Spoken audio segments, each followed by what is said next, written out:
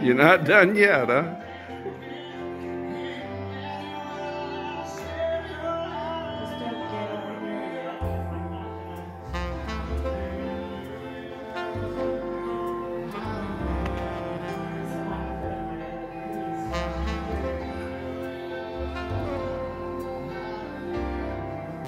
Yep.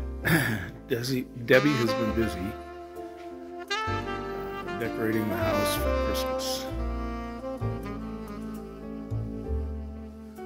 looks real nice.